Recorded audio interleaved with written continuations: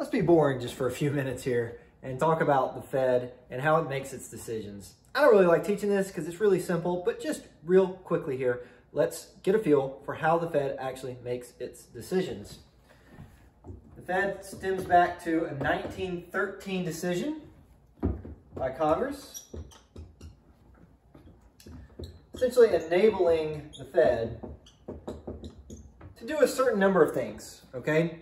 Prior to 1913, we didn't have a central bank in the U.S. We did have some periods where we jumped back and forth between having central banks with various levels of power. In 1913, the Fed was created um, with some authority, okay? And the main goal of the Fed at this point in time was to stop bank runs. And a bank run is essentially just a scenario where lots of people withdraw their money at the same time from banks. Uh, at this point in time, we did not have a required reserve rate, so banks could decide how much they're going to loan out. And once people start withdrawing money from a bank, that does a couple of different things, okay? One thing that happens when you withdraw your money from a bank is it reduces the effectiveness of the money multiplier. So if, you know, let's think about modern America. If we have a 10% required reserve rate and you take $10,000 out of a bank, that could actually reduce the total money supply by $100,000. So when people start withdrawing money out of the bank, it actually reduces the overall money supply by a great deal, okay? That's one thing it does. Second thing it does, it can create a panic. Since people know that there is money, uh, not enough money in the bank to support everyone who's made deposits, once people start seeing that people are withdrawing money from the banks, uh, it can create an incentive to go get your money out quickly. So essentially, if I hear that you're going to take your money out of the bank, I might try to go get my money out of the bank first so that I know my cash is available to me. Because if I wait and people start withdrawing money out of the bank, maybe my money is nowhere to be found. Okay? So we had these bank runs really common in the early 1900s. It was happening a lot. And this was a primary reason the Fed was started uh, officially back in 1913. Okay? Over time, the Fed got more power and we established a system.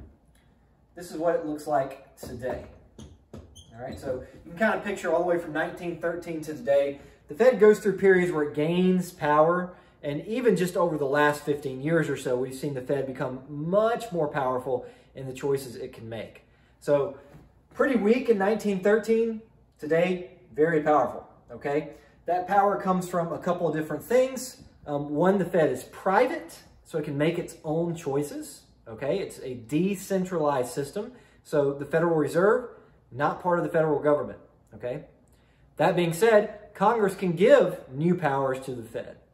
Um, so right now, if Congress decided it wanted to allow the Fed um, to pay out interest on stock market holdings, so if you buy stocks, maybe the Fed is going to give you a 1% addition on whatever money you hold in stocks. They could do something like that, right? Congress can create laws for the Fed. So the Fed is private, but it is given additional power from Congress from time to time. So the Fed has gotten more powerful on its own accord. It's basically figured out things that it can get away with and gotten stronger over time. And also, Congress has given the Fed more ability to become powerful over time. It's given them new authorities that it can create, such as uh, holding, uh, providing interest on reserves. That was back in 2009, I believe the, the Congress first gave the Fed the ability to provide interest on reserves held at the Fed. So they get these new powerful abilities over time.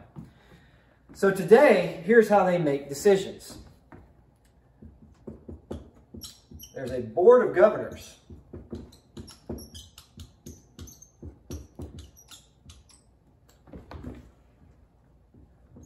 And the board of governors contains up to seven members. Those seven members are appointed by the U.S. president, and then they have to be affirmed by Congress.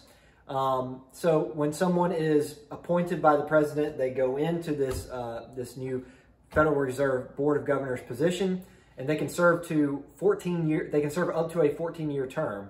Um, so when you become a member of the Board of Governors, you have 14 years uh, as being a member, and you could also be reappointed.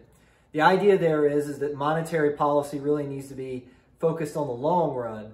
Um, so if you're there for 14 years, you can really think about the long-term implications of any new policies that you put in. Second reason for that is that if you serve 14-year terms, you're probably less likely to be susceptible to political pressure. So if I'm a new Board of Governor member and I'm pissing off a bunch of politicians, I don't really have to worry about them, you know, not liking me or wanting me out. They really can't do much about it. Um, so once I become a member of the Board of Governors, it takes a lot for me to be taken out of that position. So I don't have to worry about, you know, making certain political parties or members upset with me. At this Board of Governors, there is a chair. Right now, that is uh, Jay Powell or Jerome Powell. He's been there uh, a couple years now. Uh, prior to that, it was Janet Yellen. Perhaps you heard of her. Um, prior to that, I believe it was uh, Ben Bernanke. And then before Ben Bernanke was Alan Greenspan. If you follow economics at all, these are probably names you've heard because this is a really, really important person. And part of what makes this person very powerful is unlike the U.S. president, for example, this is a private organization. All right. So Jay Powell can do a lot because he is one of just seven members in this decision-making body of the Board of Governors. So these people have a lot of power because they don't have to worry about getting things passed through Congress or anything. They want to pass a new rule, as long as it's within their abilities, right, then they can do it without asking for permission. There's also the Federal Open Market Committee.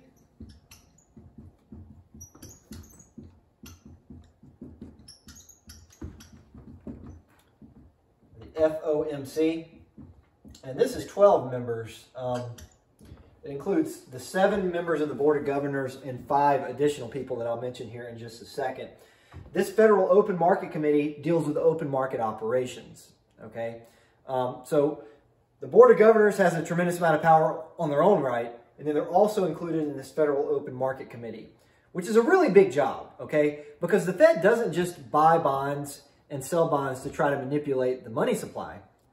They also issue bonds for the federal government, okay? So the federal government needs to borrow money basically all the time. They call up the Federal Open Market Committee and say, hey, we need to borrow $1 trillion. Make that happen for us. And then they have to figure out exactly how they're going to do it. That's a big job, okay? Because if you just issued money in New York City, it might affect the money supply in New York City differently than it affects it in the rest of the country. So it could create some distortions in the economy. So trying to figure out how to borrow a, a trillion dollars is a really big deal. It's a very big job. So not only are they doing open market operations to change the money supply, they're also just facilitating the loans that the U.S. government has, okay? The Fed has 12 districts. The idea there is that different parts of the uh, U.S. economy and different parts of the country have different problems at any given moment. And so we need someone keeping an eye on different districts.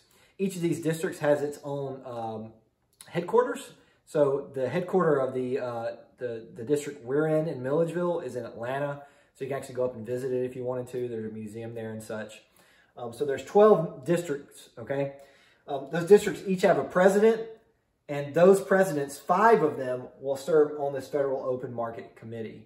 So the Federal Open Market Committee has seven from the Board of Governors, plus five of these presidents that rotate in and out of this uh, FOMC committee, okay? So this is how decisions get made. Like I said, not very interesting, so we'll move past this right now.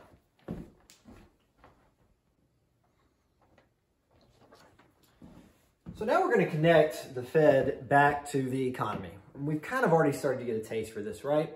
Um, if we think about what we did there with the uh, Phillips curves, we're thinking about how the Fed can potentially impact the unemployment rate. Well, we're going to dive even deeper now, okay? Uh, it turns out that the Fed was given three goals by Congress. Back in the 1970s, Congress specifically laid this out, that this is what it wanted the Fed to accomplish. Maximized employment,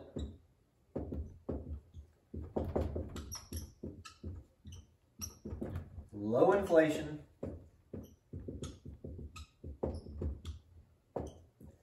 and stable interest rates.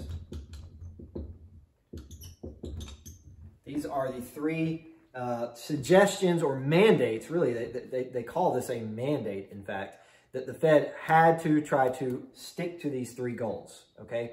Sometimes you'll hear this referred to as the dual mandate, which basically refers to the Fed has to think about low inflation and also low uh, unemployment rates, okay? Which is obviously going to be a problem. Um, so if we think about the Phillips curve that we had here,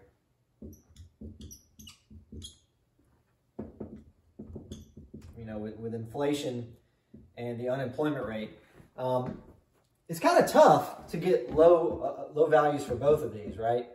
That, that's kind of what this suggests in, in, in a not so obvious way. Um, basically, you want to be here on the Phillips curve is, is what this suggests. You want low inflation and you want low unemployment rate.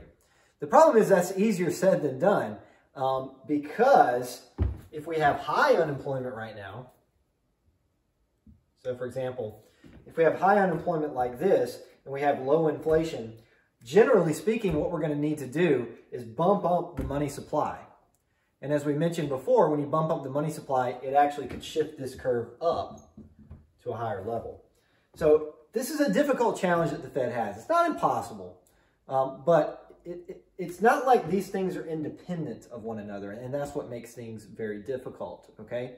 If the Fed wants to stimulate employment, oftentimes what that means is raising inflation and dropping interest rates.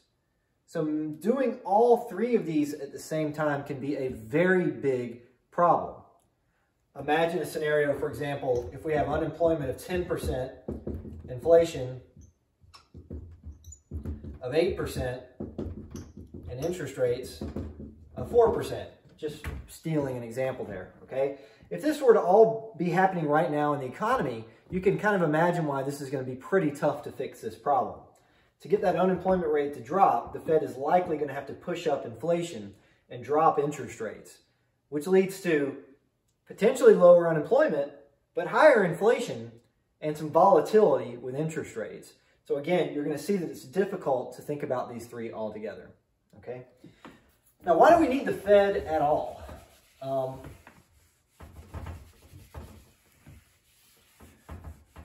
getting very granular here and, and, thinking about what economics shows us in general. Uh, what we learn from classical economics, what we learn from mainstream economics, is that markets normally function well on their own.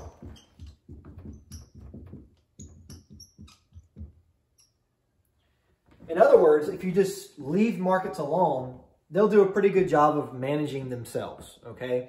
I always just imagine just something, a very simple business, like a little ice cream stand at the beach. No one needs to go to that little ice cream stand and tell them that they need to keep prices low or raise prices or hire more workers. No, because they're incentivized to do what's best for society, as it turns out. If that little ice cream stand has prices too high, it won't be able to sell all their ice cream, so it will learn to drop its price. If it sets prices too low, it'll learn that it needs to raise its prices. If it's really profitable, it will hire more workers. It will expand. That good business will generate more wealth for society because it will expand. So you don't really need the government to get involved there, okay? However, in other cases, we see market failures. And I'm not going to bother with writing down the definition, but a market failure just occurs when the market reaches an outcome that's not best for society, okay? If you leave some markets alone, the outcome that market will reach will reach will be bad for society on net. Okay. So for example, you can imagine like really hardcore drugs like heroin or something or cocaine. Um, if we just let those markets be free, there will be consequences, right? If you let heroin and cocaine be completely free, that will affect other people. Doesn't necessarily mean it should be illegal. It just means that it can't be a free market, okay? Education can't really be a free market. You can't just let people pay for education because that means that lower income people will get no education. And that's a big problem because we all benefit from everyone being educated. All right. It's a market failure. The market will not do a very good job. Okay. There's lots of different market failures. Um, and we may talk more about these in the future. There's externalities, open access goods, principal agent problems, et cetera, et cetera.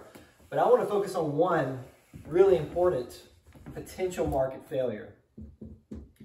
And that is the market failure of public goods. Public goods, all right? If you've taken some economics courses, you've seen this idea before. Public goods are goods that are non-rival and non-excludable. non-rival and non-excludable. Well, in case you haven't seen those terms before, we need to make sure we understand what they mean. Those are kind of terms within a term there. So non-rival basically just means if I can consume it, you can too.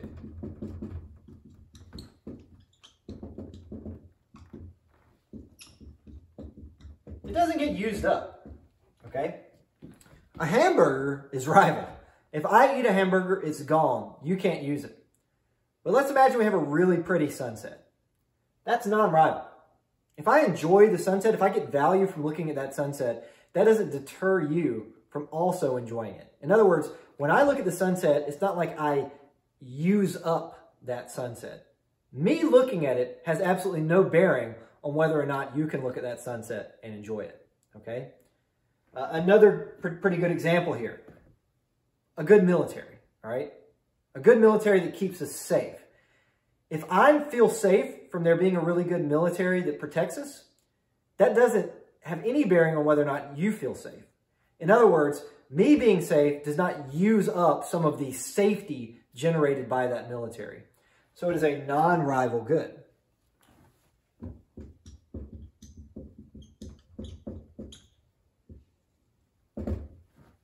Public goods are also, of course, non-excludable.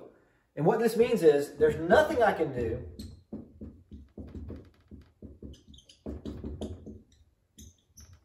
to stop you from enjoying it.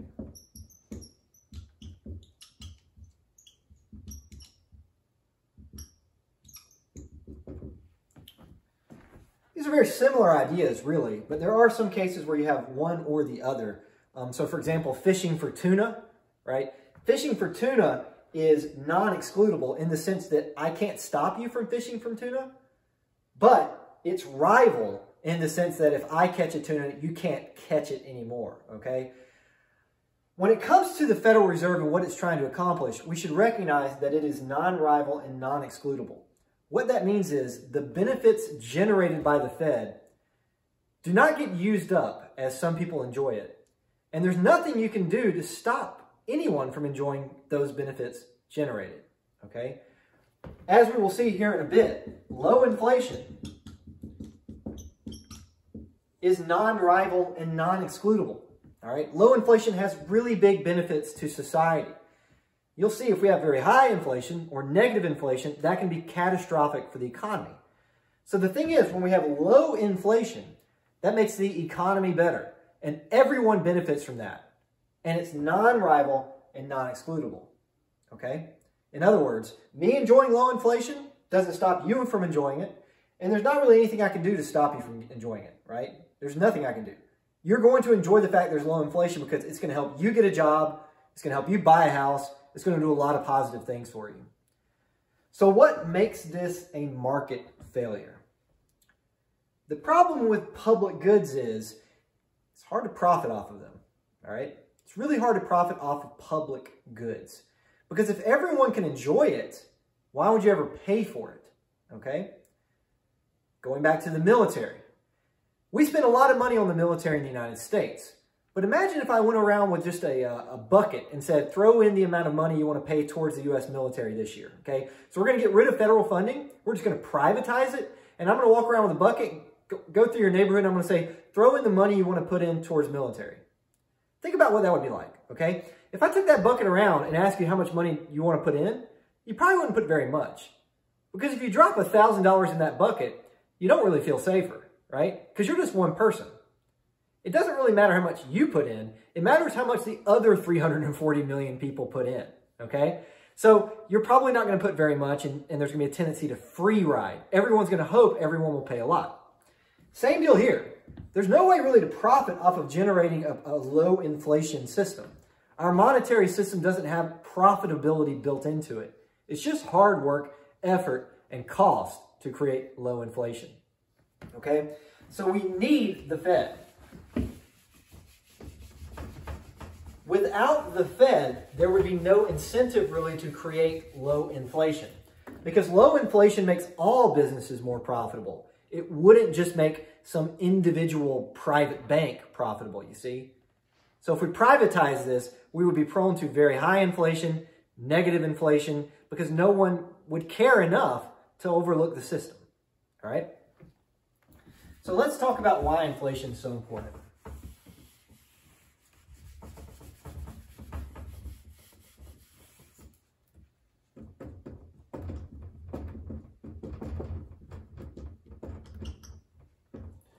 Kind of categorize inflation into uh, three groups, okay?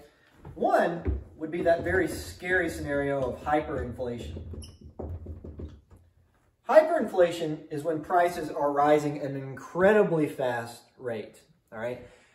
Hard to define exactly what hyperinflation is. Like, I don't know really what the threshold is, but when you see it, you know okay? So hyperinflation is when prices are not only rising,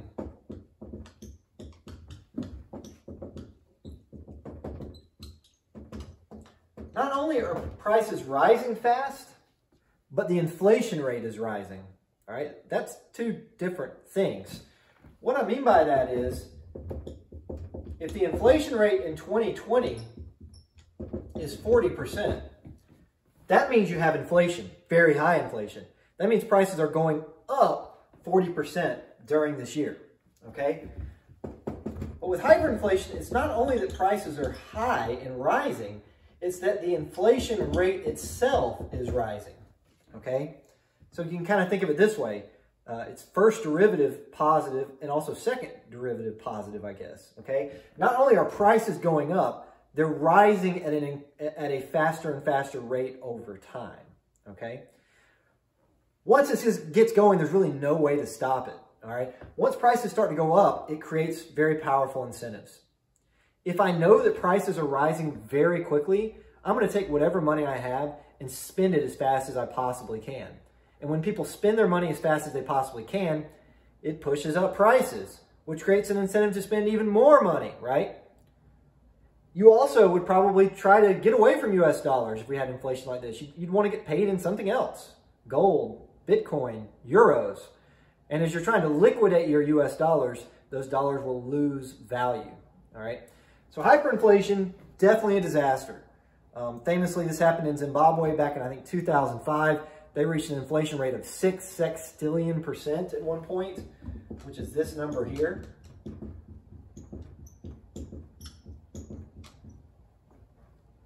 One more. So that was their inflation rate at one point in 2005. That means that prices are going up unfathomably fast. When you go to the grocery store, there are no prices listed on anything. You go to the register, you have no idea what you're going to be paying. And the amount of currency that needs to be generated to facilitate this is massive. So people are using wheelbarrows to push their money to the grocery store. Really a total catastrophe, all right?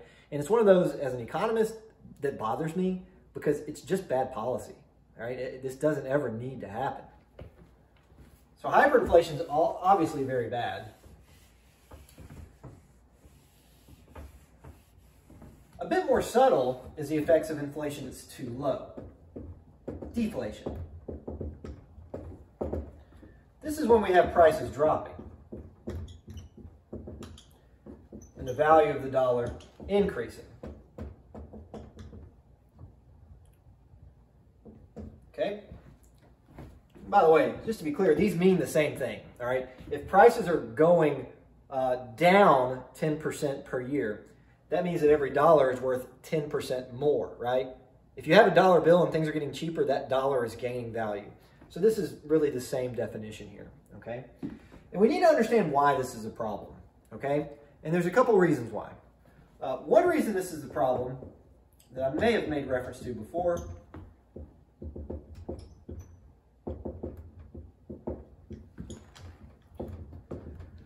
when we have deflation, it tends to cause people to wait to make purchases you know, they're still going to buy their groceries and that kind of thing. But, um, you know, the things you don't have to have right now, you're definitely incentivized to wait to purchase. And I kind of seen this in my own life to some extent. Can I show you guys something real quick right now? I'm going to mess up my video, but look at that big TV. Woo! I'm going to watching a lot of sports on that. I just bought it.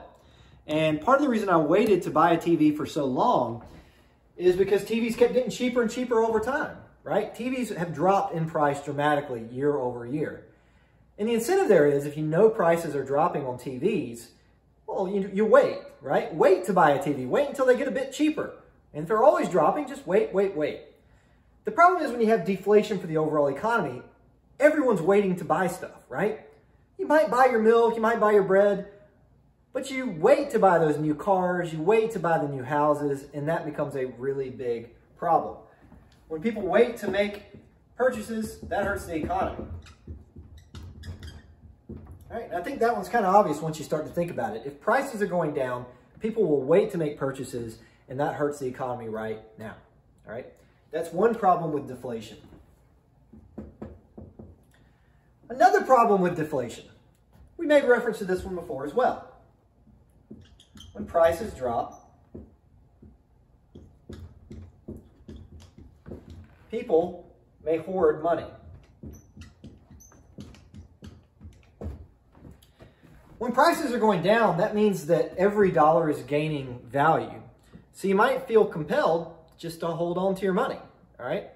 If money is gaining value over time, maybe you don't buy stocks, maybe you don't buy bonds, maybe you just hold the cash.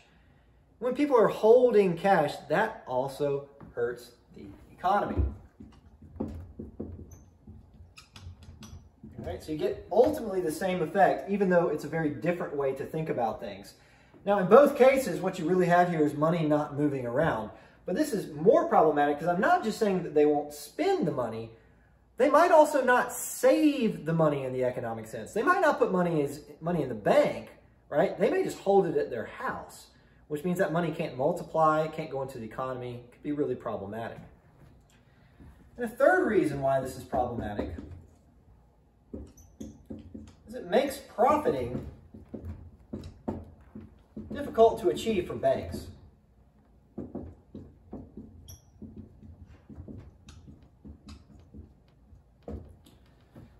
So you can kind of imagine here, um, you know, just a very simple scenario. Maybe I deposit $10,000 in 2020 and then I withdraw that same money of $10,000 in 2025. Okay? So this is like putting your money into a checking account that earns 0% interest. Probably everyone watching this video is doing this right now. You have money in a checking account at 0% interest, right? Now, think about this scenario in normal times if we have 2% inflation, you're kind of losing a little bit of value there, right? If we have 2% inflation and you have your money in here for five years, well, your money's losing a little bit of value over time, but you're probably willing to accept that because you need money in checking. You like having money in checking, right? Because it gives you flexibility of accessing it quickly, it keeps it safe, it gives you some benefits. Now imagine if you had 2% deflation. From the bank's perspective, what that means is the bank, under the case of deflation, the bank loses wealth, if we can call it wealth, from these transactions.